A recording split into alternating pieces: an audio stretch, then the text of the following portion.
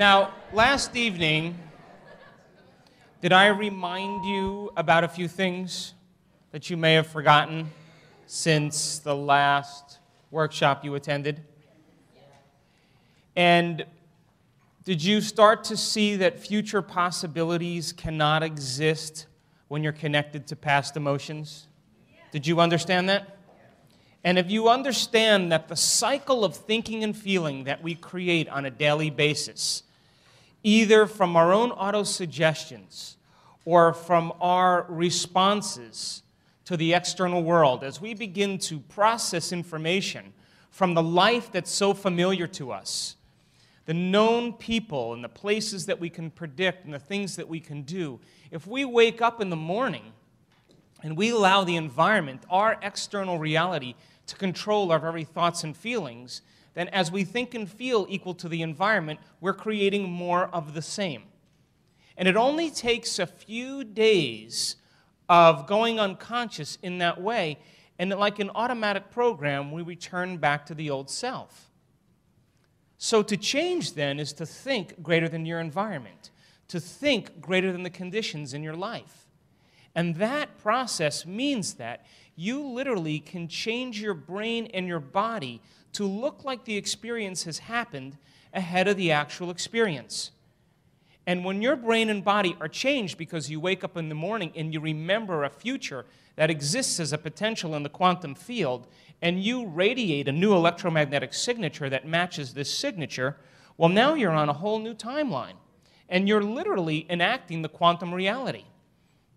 And it doesn't have to be complicated.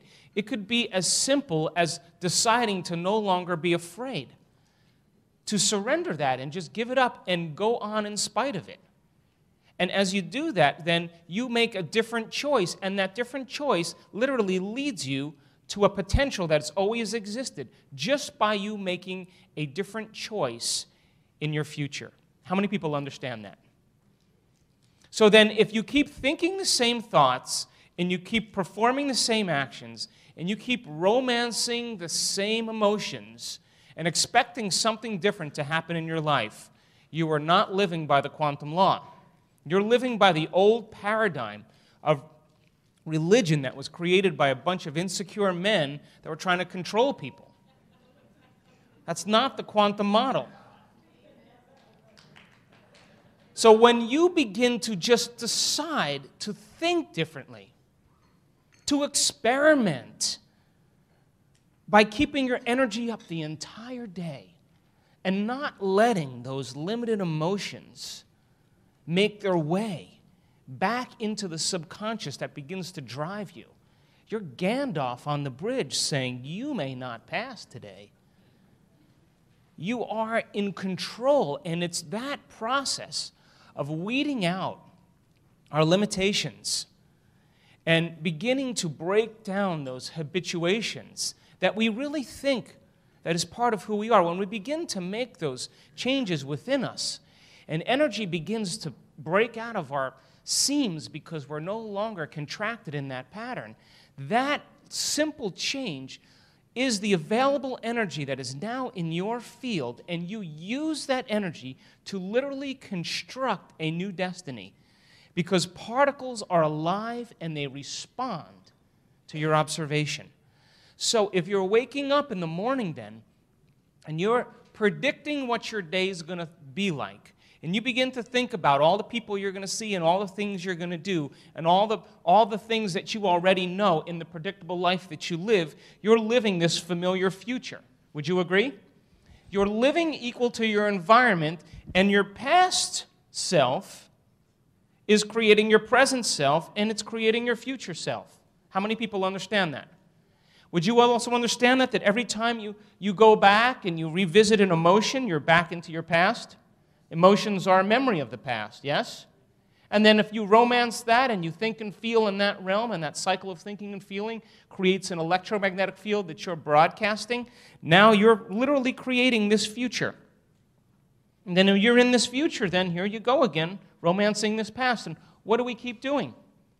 We're on a very specific line of time that is projecting you to your genetic destiny. And then you could say, I am this way because of this experience that's happened to me back here. And I memorized the emotion because I didn't know that every time I thought about that experience, I was producing the same chemistry in my brain and my body as if the experience was happening.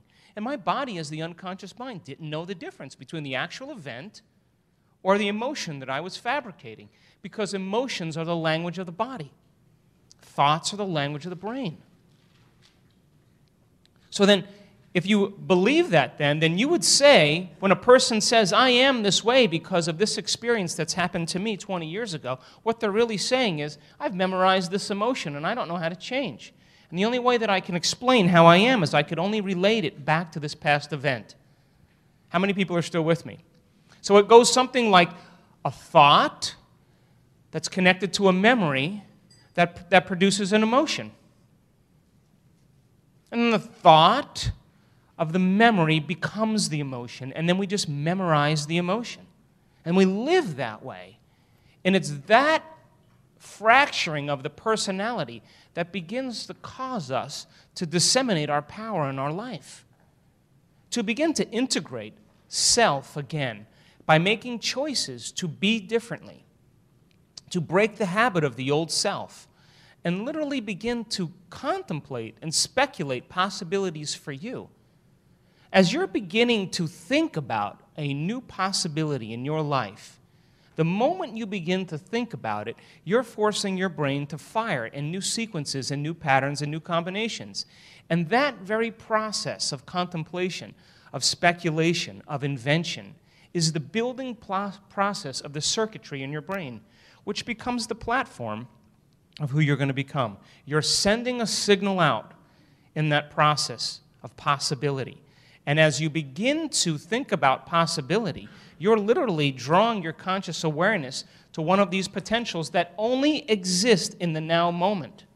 They can't exist in the future because as you begin to think about all the things you're going to do in your day, your body is already in the future. But it's in the future, familiar future, that you already know. And that known future creates more of the same. How many people are still with me? So then, by the same means, then, a person who's embracing a past event, over time, they forget the event and they just live by that emotion. And then they define themselves as guilty or insecure or afraid or having anxiety or whatever it is for the person. So then, how much of our life do we really live in the present moment? And only in the present moment do you make contact with all these potentials. So if you were to decide then, as you begin to speculate possibilities in your life and you're making a new mind, if you could just surrender the smallest bit to how it would feel from an emotional standpoint, let go and play. Unclutter your energy enough to begin to be like a child and begin to feel what that event would feel like. We're going to do that today because we're going to signal your body over and over again to recondition it to believe that it's in the event. So that when you get up and memorize that state, you have available energy that you're drawing to you.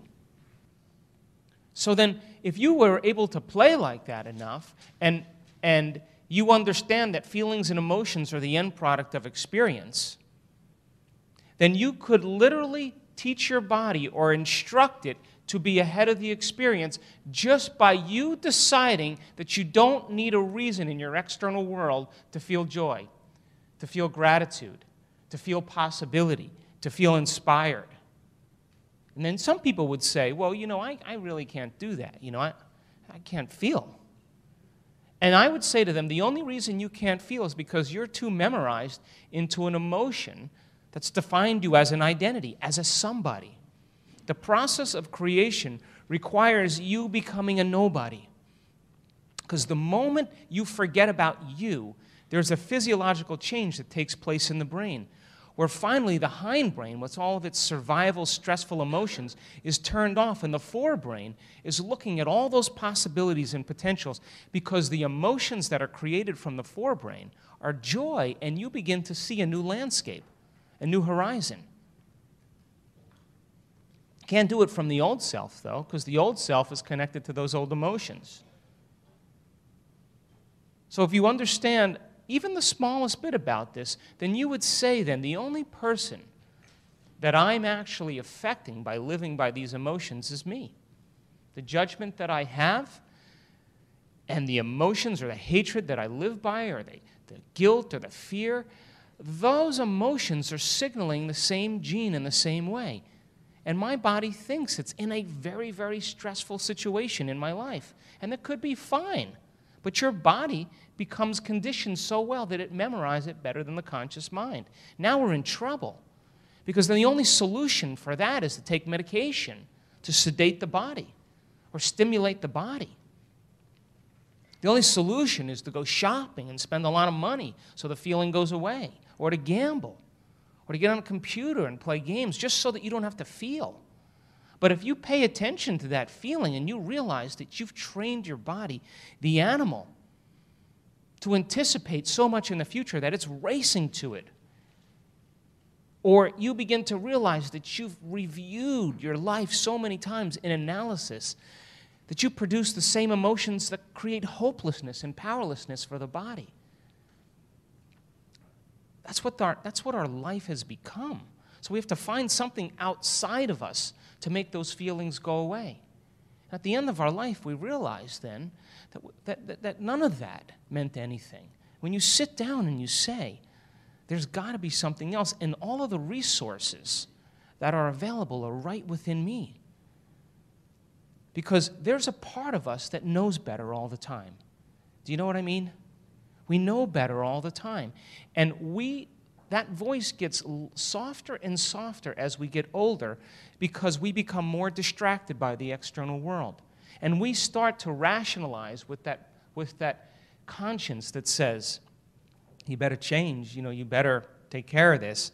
And then you go on in spite of it, or we go on in spite of it. And so what happens? There's disease, there's loss, there's breakdown in your life. And then when you reach the point where the personality, the identity is so beaten down by its external world that you can't go on business as usual. And that's when people have the catharsis of personal change. They reach their lowest denominator. And then they say, I can't fake it any longer. I can't live like this any longer. I got, I got to do something. And so, if we live by these limited emotions that push the genetic buttons that create disease, and you understand that just even from a theoretical standpoint, would you like to wait for your life heads for that genetic potential? Or can you choose yourself every morning, like a work in progress, like a work of art, to experiment with life and raise your energy and maintain it, independent of the environment? And if you're so bold enough to do that, to maintain it, something should show up differently in your world. That's the law. And it should come in a way that blows your doors off, that leaves you surprised. I forgot I was in Canada. Jeez. I was in New York, what was it, two weeks ago? I was in New York two weeks ago, and the audience, and I start talking two minutes, and someone's like, hey, blah, blah. I start answering the lady's question, then I start talking. Another lady, ah, finally I said, oh, God, I'm in New York. I forgot. Shut up. Okay, anyway.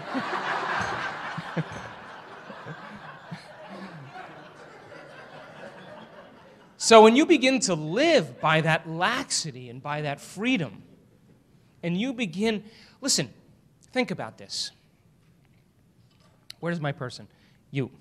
When you live in a state of trust, that you believe in a future that you can't see or experience with your senses, but it's alive in your mind and body, and you have the chills running up your spine because you're excited, but you don't know how it's going to happen or why, but you're living in that state. When you believe in that future that you can't see or experience yet, but you've conditioned yourself to be in, you literally are trusting in an outcome. Would you agree? And as you begin to trust in an outcome, and you knew, listen, if you knew your life was going to be handled, would you allow yourself to be caught up in the insignificant emotions and details that so many people become distracted by, so that it stops their growth, it stops their movement in their life because they bump up against something that causes this big emotional reaction. And then the, for the rest of the day, they're living in the, the, the mood of that experience. And it's that mood then that keeps the events in their life at arm's distance the whole entire time. How many people are with me?